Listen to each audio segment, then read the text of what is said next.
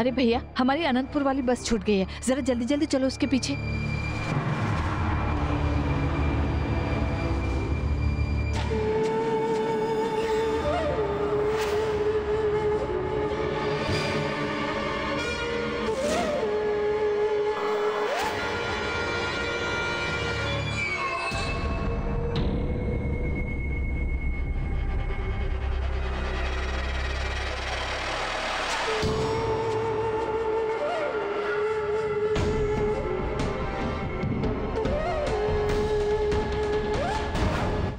जरा तेज चलाइए। बेटा खुद पे काबू रख। सब ठीक हो जाएगा। भगवान करे ऐसा ही हो जो आप कह रही हैं मनो भाभी।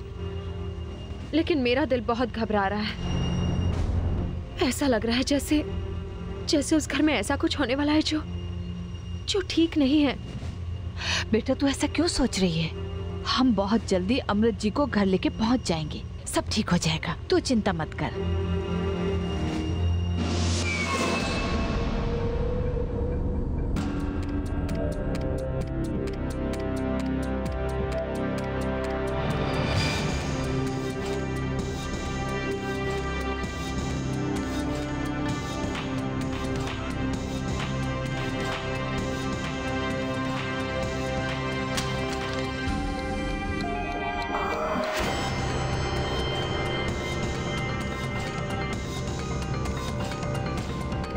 इस वक्त सलोनी और वो फ्रॉड नहार कहाँ है? उनके बीच क्या चल रहा है इसका पता हमें यहीं चल सकता है। आखिर कोई तो सुराग होगा, कोई इशारा तो मिलेगा जो सच्चाई को सामने ला सके।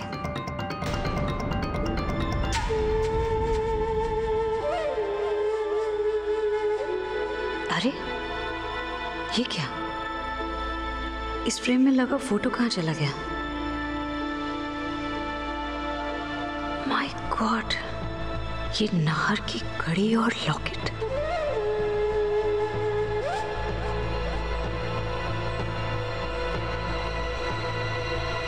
नाहर घड़ी पहनना तो भूल भी सकता है, लेकिन ये लॉकेट, इस लॉकेट को पहने बिना तो वो कभी कहीं भी नहीं जाता है। तो फिर इस लॉकेट के यहाँ होने और नाहर के यहाँ ना होने का मतलब क्या हो सकता है? जो भी हो। लेकिन अब कम से कम हम ये सबके सामने तो साबित कर ही सकते हैं कि यहाँ सब कुछ ठीक नहीं है।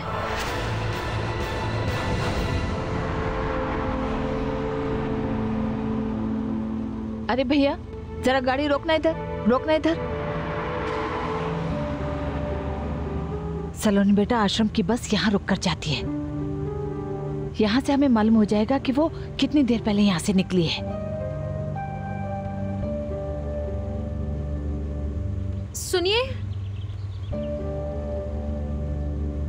यहाँ से आनंद आश्रम जाने वाली बस को गए हुए कितनी देर हुई है? बहन जी वो बस तो खराब हो गई थी। यात्रियों को उतारकर उस बस को खींचते हुए डिपो तक ले गए हैं। मैं तो खुद उस बस में बैठा हुआ था और अब अब तो दो घंटे तक कोई भी बस नहीं है। अरे भैया हमारे जानने वाले उस बस में थे। लंबे से हैं भूरे से हैं। भैया अमृत नाम है उनका। आपने कहीं देखा है? हाँ ऐसा एक आदमी था तो सही लेकिन वो अब यहाँ नहीं है। मैंने उसे कुछ यात्रियों के साथ आश्रम के लिए जाने वाली टैक्सी में बैठे हुए देखा है। तू चिंता मत कर बेटा। उन्हें यहाँ से निकले ज़्यादा देर नहीं हुई है। हम अभी भी उनको पकड़ सकते हैं। भैया, जरा जल्दी करो, एक टैक्सी के पीछे जाना है। चलो चलो।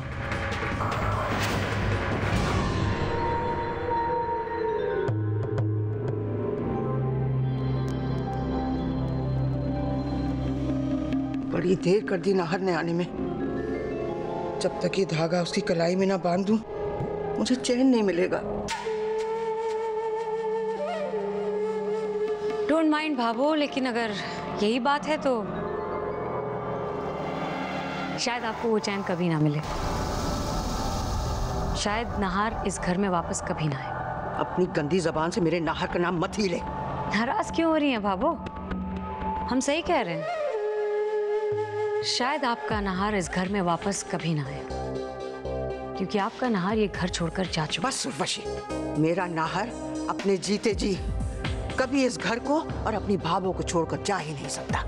ठीक है लेकिन मरने के बाद तो जा सकता है। Why don't you accept the fact भावो? नाहर कब का ये दुनिया छोड़कर जा चुका है? और आपके साथ जो इस घर में रह रहा है वो नाहर का हम शक्ल है। कोई फ्रॉड है? और अब तो वो फ्रॉड भी ये घर छोड़कर जा चुका है। चुप हो जाओ उर्वशी। जब से मेरा नाहर लौट के आया है ना तो यही बोले जा रही है उसके बारे में। कब तक आप लोग सच्चाई से भागते रहेंगे भावो और आपके भागने से सच बदल नहीं जाएगा। सच्चाई हम आपके सामने कब से लाने की कोशिश कर रहे हैं लेकिन आप लोग मानना ही नहीं चाहते। लेकिन आज आपके पास चॉइस नहीं है क्योंकि आज हमारे पास सबूत है। सबूत? हाँ और इस सबूत को देखकर सच आप सबके सामने आ जाएगा।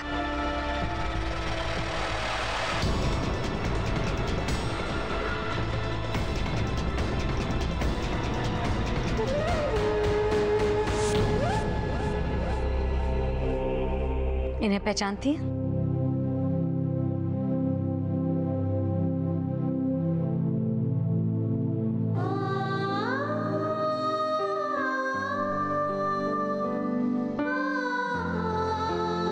घड़ी ये लॉकेट ये तो मेरे नाहर के हैं। तुम्हें कहाँ से मिले? नाहर के कमरे से। और ये तो आप भी अच्छी तरह से जानती हैं कि चाहे कुछ भी हो जाए, नाहर इस लॉकेट को अपने आप से कभी अलग नहीं करते। ऐसा क्या हो गया कि नाहर ये सब छोड़कर, ये घर छोड़कर चले गए?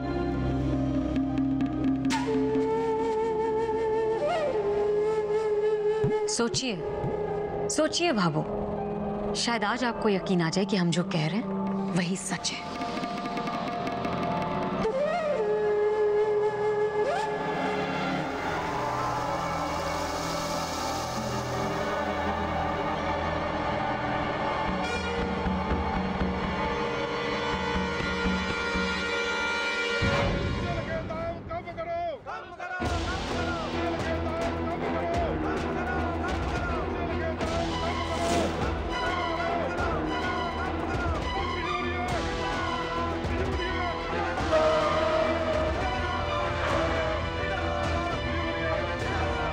अरे क्या हुआ भैया? गाड़ी क्यों रोक दी? आगे ट्रक ड्राइवरों ने रास्ता जाम करके रखा है। गाड़ी आगे नहीं जा सकती अभी। लेकिन आश्रम जाने के लिए दूसरा रास्ता भी तो होगा। जी नहीं मैडम। अगर आपको आगे जाना है तो पैदल जाना पड़ेगा। हे भगवान तब तक तो अमृत जी आश्रम पहुँच भी जाएँगे। नहीं बेटा अगर हम यहाँ से आगे नहीं जा सकते तो हो सकता है अमृत जी की टैक्सी भी यहाँ से आगे न जा पाई हो। तो हम ऐसा करते हैं हम यहाँ से उतर के आगे से टैक्सी लेते हैं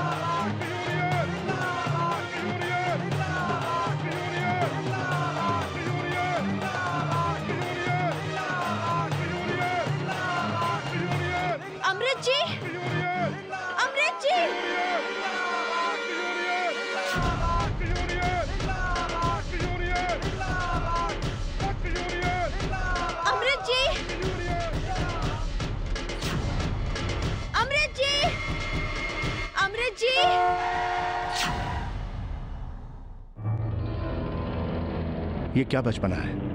आपको रास्ते पे चलना नहीं आता? अपनी ही जान की परवाह नहीं है आपको। अगर हमने समय पे आपको ना देखा होता तो पता नहीं क्या हो जाता। मेरी जान बचाने के लिए शुक्रिया। लेकिन आपको मेरे लिए इतना परेशान होने की ज़रूरत नहीं है। अगर आप हमसे इतनी ही नफरत करती हैं तो क्या हम जान सकते हैं? आप हमारे पीछे यहाँ तक क्यों आए? मैंने आपसे कब कहा कि मैं आपसे नफरत करती हूँ? लेकिन ये भी सच है कि मैं आपसे प्यार नहीं करती।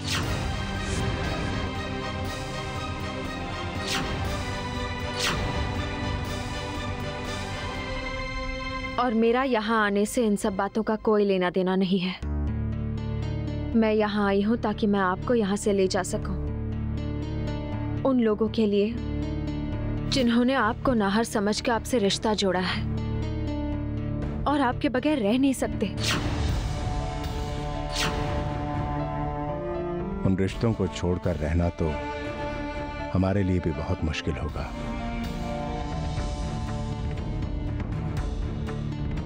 आपको जाने के लिए भी मैंने ही कहा था। और वहाँ चलने के लिए भी मैं ही कह रही हूँ। हमने पहले भी आपकी बात नहीं टाली थी। अब भी नहीं टालेंगे।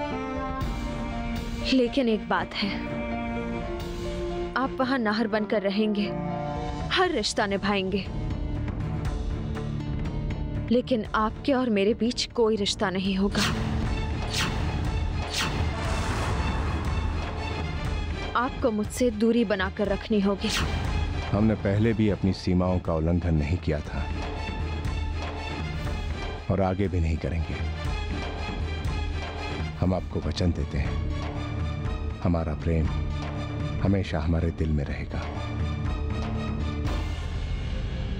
आपको मुझसे एक वादा और करना होगा। कैसा वादा? यही कि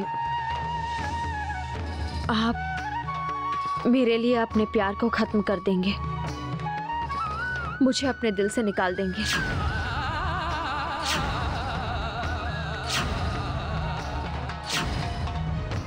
हम आपको ये वादा नहीं दे सकते सलोनी जी। हम आपको ये वादा नहीं दे सकते सलोनी जी। आपसे प्रेम करना हमारे बस में नहीं था और ना ही आपको भूल पाना हमारे बस में। है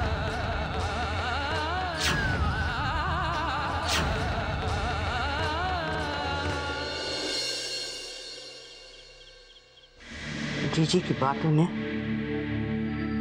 मेरे मन में एक अनजाना सा डर पैदा कर दिया तारा। एक तरफ़ लगता है ये सच नहीं हो सकता।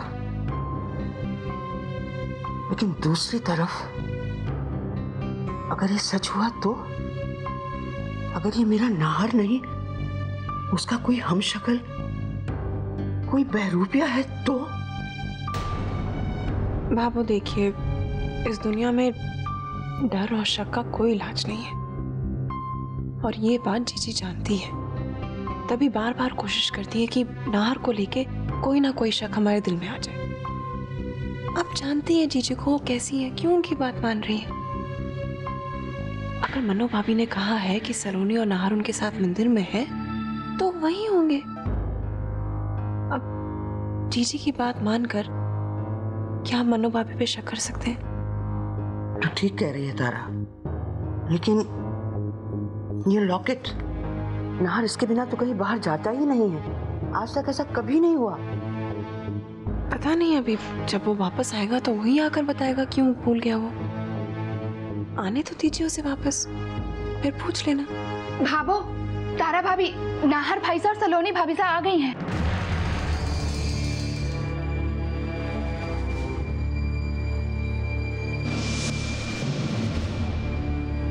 नाहर?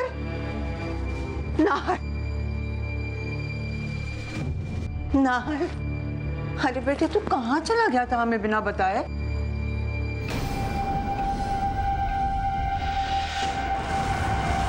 लेकिन बात क्या है, बाबू?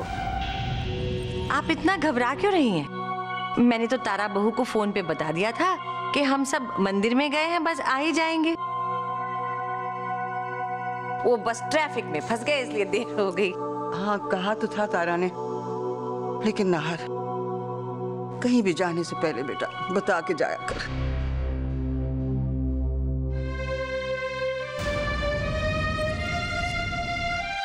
ये बैग बैग ले जाने की क्या ज़रूरत थी?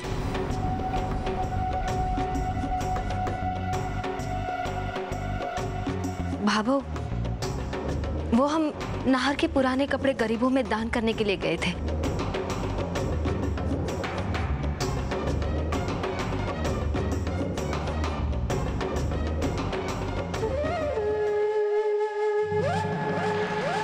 आप इतना परेशान क्यों हो रही है?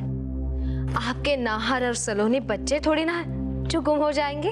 तुम लोग चाहे कितने भी बड़े हो जाओ, मेरे लिए तो बच्चे ही रहोगे ना। और वैसे मैं इतना ना घबराती लेकिन जीजी ने आके मुझे तेरा लॉकेट दिखा दिया। तेरी घड़ी तेरे कान के बाले। कहने लगी तू घर छोड़ के चला गया? वो लॉकेट तो तू आज तक बिना पहने बाहर नहीं गया। आज कैसे भूल गया?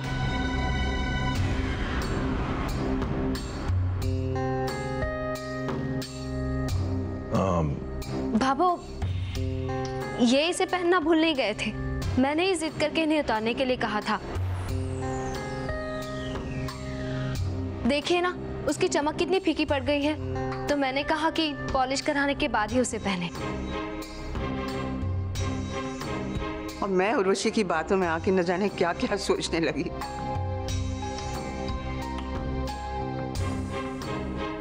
चल नाहर मेरे साथ चल। बहुत ज़रूरी काम है बेटे।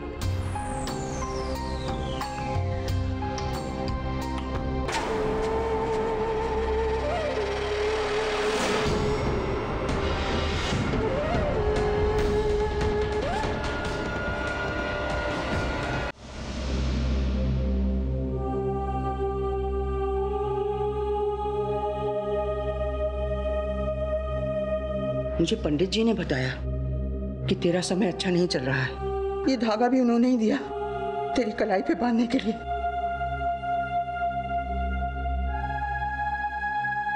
यह हर विपत्ति से तेरी रक्षा करेगा। इसे कभी मत खोलना।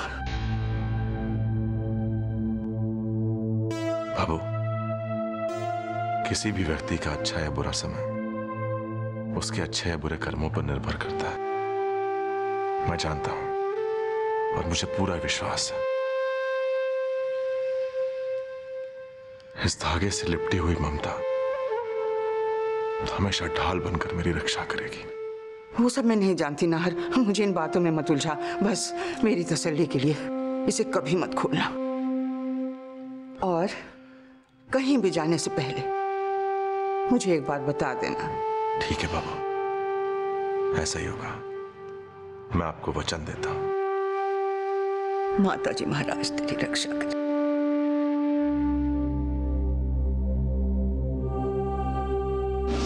उर्वशी, तुम समझती क्या हो अपने आप को? किससे पूछकर मेरे कमरे में गई थी? और क्या ज़रूरत थी भाभो को वो लॉकेट दिखाने की? इतनी बार मुँह के बल गिरी हो, फिर भी तुम्हारे होश ठिकाने नहीं आए। आखिर चाहती क्या हो तुम? तुम्हारी और तुम्हारे परिवार की बर्बादी। और ये बात तुम अच्छी तरह से जानती हो फिर भी पता नहीं क्यों बार बार हमारे पास ये पूछने चली आती हो।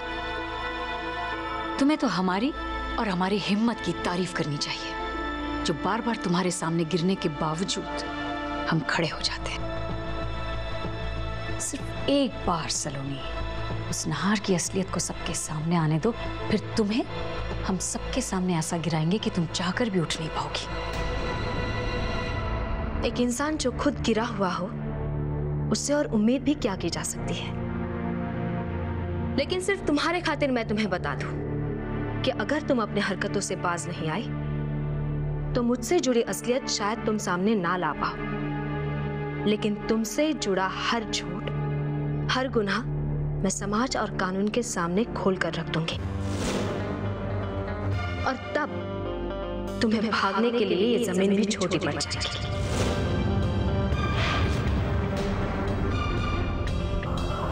बस थोड़ा इंतज़ार और करो, सलोनी।